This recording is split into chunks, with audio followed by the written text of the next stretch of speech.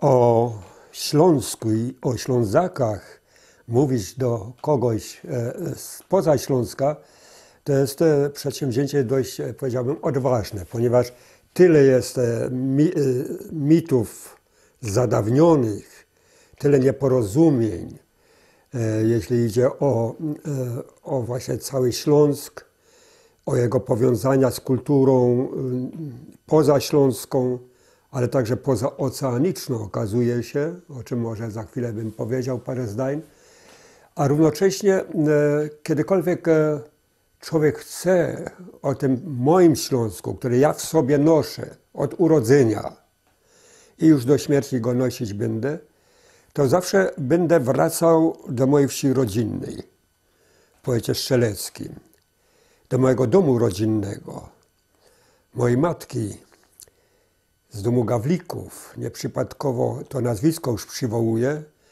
ponieważ ono będzie się wiązało w sposób zupełnie niezwykły z Teksasem, e, a więc e, z tym rejonem świata, gdzie nie tylko ta jakaś emigracja z Polski do Kanady, czy gdzieś tam na, e, na północ Stanów, prawda, się zapisała tak czy inaczej.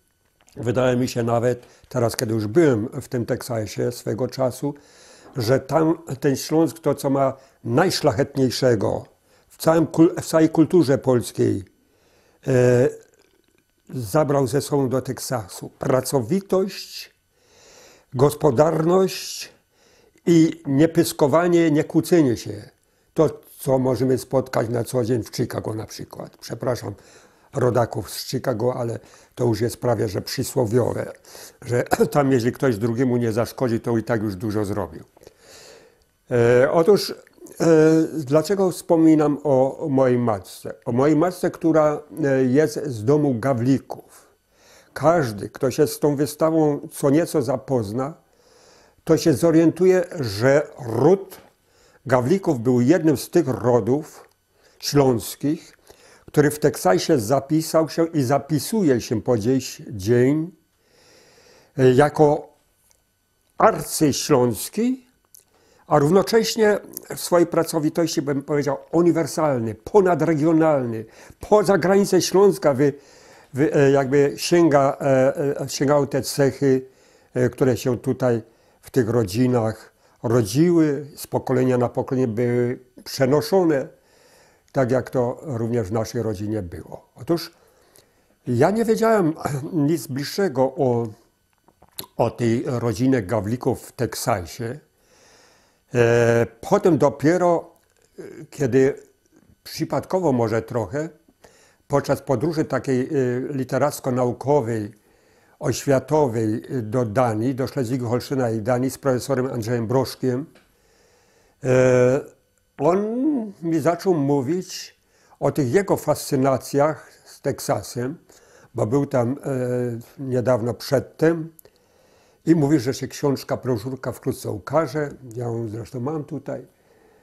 E, I ja od tego czasu zacząłem jakby śledzić to, co w bibliotece było osiągalne.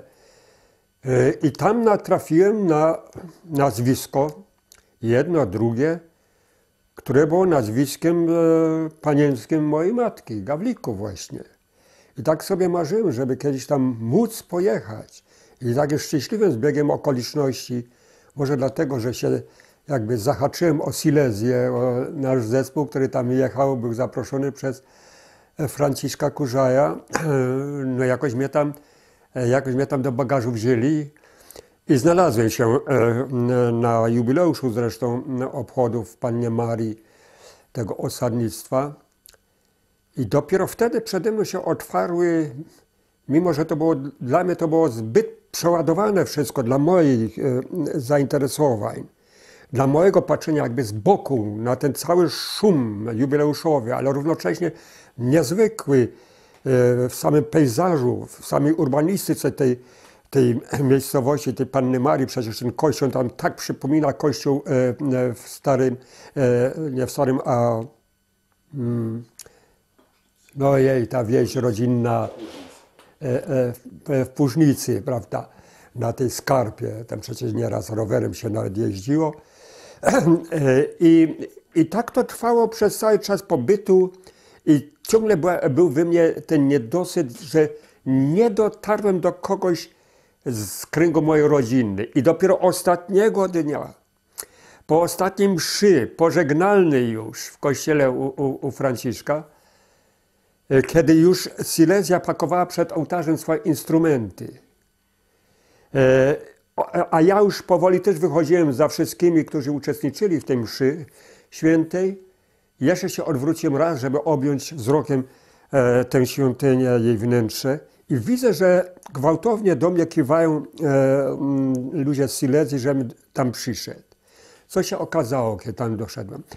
Asystowała w tej, e, w mszy e, kobieta, e, organistka, która okazała się, że jest z domu Gawlikowa. Co więcej, co więcej, tam jest jakiś starszy mężczyzna i z, z kobietą również starszą, że to są jej rodzice, on Gawlik przecież. No więc y, ja byłem oszołomiony tym wszystkim powiem. Ja mu od razu powiedziałem, Boże, my już idziemy na kolację pożegnalną i my jutro odlatujemy, a tak chciałoby się pogoldać jeszcze. I to on mi mówi, no to przyjeżdżaj tutaj. Ja mówię, no już mam tyle lat, jak ja mogę jeszcze e, tu przyjechać? On mówi, a ile to mąż? Okazało się, że byłem młodszy od niego o ileś lat. On mi mówi, widzisz, ale jest starszy od ciebie o te 6 czy 7 lat, a jeszcze karuje, a karuje na polu. No i tak mi dał, jakby powiedzieć, wtedy otuchę, nadzieję. Oczywiście nie udało mi się przynajmniej do dzisiaj jej e, spełnić. Dość, że ten człowiek, czy jego rodzina, która mi potem przysłała fotografię, którą tutaj mam nawet przy sobie, rodzinną, I mm, również e, już kolejne tam mm, pokolenie wnuków e, te fotografie tu przysłali, jakieś tam pozdrowienia od czasu do czasu. Potem jego żona zmarła, tego, tego Gawlika, więc to się troszeczkę tak jakby przydusiło, urwało. Ale dla mnie ten Teksas z tym, co on wnosi do kultury całej amerykańskiej, dlatego mnie tak zabolało, tak mnie zabolało, że na ten jubileusz Pannie Marii prezydent Stanów Zjednoczonych przysłał list gratulacyjny. Natomiast od nas, od naszych władz, nikt się nie zniżył do tego, żeby na taki jubileusz jakieś oficjalne pismo wysłać.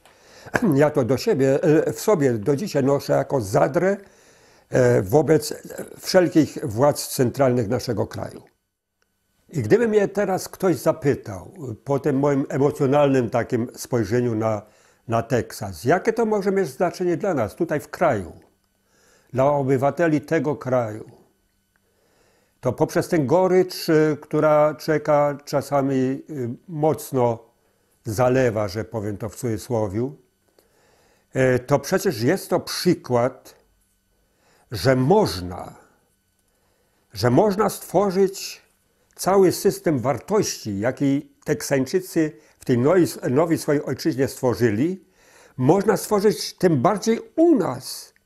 Jeżeli by tylko, jeżeli by tylko był, była jakaś między nami solidarność języka, solidarność wartości, moralności, to, co im towarzyszy. Tam wystarczy iść do tych kościołów, na te nabożeństwa, w jaki sposób oni wraz z tymi Meksykańczykami tamtejszymi się potrafią modlić, śpiewać. I potem być w tych domach e, teksańskich, jaką silną wewnętrznie społeczność oni tworzą. To jest e, coś, co we mnie pozostało z tamtego mojego krótkiego pobytu, ale jednak e, bardzo wnikliwie starałem się przyglądać tym ludziom, którzy tam są już w którymś pokoleniu. I oni, to co w tym e, wspomnianym tutaj liście e, takim z pozdrowieniami od, od e, prezydenta Stanów Zjednoczonych zostało wyrażone. I nie tylko e, w tym jednym liście, w różnych takich opiniach e, współobywateli amerykańskich, polityków, że Ślązacy w tym Teksasie ukazali się jako społeczność o trwałych wartościach, o niezwykłej pracowitości, o więzach międzyludzkich i o otwarciu ku wszystkim innym kulturom, które tam są.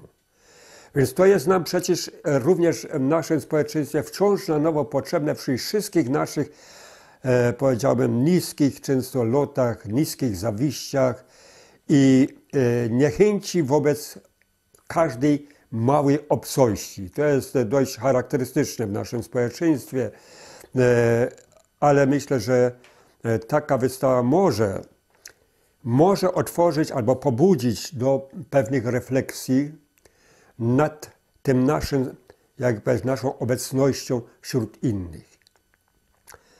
Polacy wśród Polaków, Ślązacy wśród Ślązaków, ale również gdziekolwiek się po, pojawiamy, gdziekolwiek pracujemy, żeby nie zapominając o, o tej swojej przeszłości, o tych swoich domach rodzinnych, równocześnie być e, otwartym na wszystko, co jest szlachetne, na wszystko, e, co raduje człowieka, raduje oko, raduje duszę, tak jak mnie tam Teksańczycy też radowali.